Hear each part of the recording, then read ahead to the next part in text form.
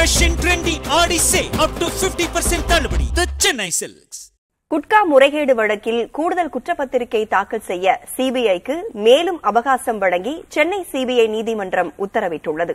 இதன் மூலம் இவ்வழக்கு விசாரணை பதினோராவது முறையாக தள்ளி வைக்கப்பட்டுள்ளது. குட்கா பொருட்கள் விற்கப்படுவதாக கிடைத்த தகவலின்படி இரண்டாயிரத்து பதினாறாம் ஆண்டு சென்னை செங்குன்றம் பகுதியில் உள்ள கிடங்கில் வருமான வரித்துறையினர் சோதனை நடத்தினர். அப்போது தடை செய்யப்பட்ட குட்கா பொருட்கள் விநியோகம் செய்ய அதிகாரிகளுக்கு லஞ்சம் கொடுக்கப்பட்டதாக ஒரு டைரியையும் பறிமுதல் செய்தனர். இதையடுத்து அப்போதைய தமிழக சுகாதாரத்துறை அமைச்சர் விஜயபாஸ்கர் முன்னாள் வணிக வரித்துறை அமைச்சர் பி வி ரமணா முன்னாள் தமிழக காவல்துறை DGP T K Rajendran Chennai முன்னாள் காவல் ஆணையர் ஜார்ஜ் உள்ளிட்ட பலரது பெயர்களும் அடிபட்டன. இந்நிலையில் குட்கா ஊழல் தொடர்பாக திமுக தரப்பில் தொடுக்கப்பட்ட வழக்கை விசாரித்த உயர்நீதிமன்றம் வழக்கு விசாரணையை சிபிஐக்கு மாற்றி உத்தரவிட்டது.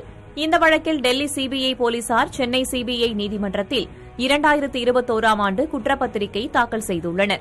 வழக்கில் கைது செய்யப்பட்ட மாதவரா உள்ளிட்ட ஆறு பெயர்கள் மட்டுமே அதில் இடம்பெற்றதாக தெரிகிறது. முன்னாள் அமைச்சர்கள் மற்றும் டிஜிபி உள்ளிட்ட மத்திய மாநில அரசு உயர் அதிகாரிகள் என வேறு யாருடைய பெயர்களும் அந்த குற்றப்பத்திரிகையில் இடம்பெறவில்லை என கூறப்படுகிறது.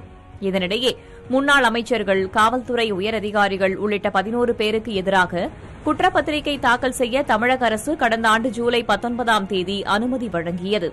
சிபிஐ தரப்பில் கூடுதல் குற்றப்பத்திரிகை கடந்த நவம்பர் மாதம் சென்னை சிபிஐ நீதிமன்றத்தில் தாக்கல் செய்துள்ளது. அதில் தவறுகள் இருப்பதால் தவறுகளை திருத்தம் செய்து தாக்கல் செய்ய சிபிஐ நீதிமன்றம் உத்தரவிட்டது.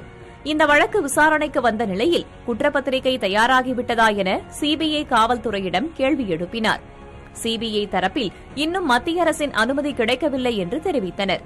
இதையடுத்து வழக்கு விசாரணையை ஆகஸ்ட் பதினோராம் தேதிக்கு நீதிபதி தள்ளி வைத்தார்.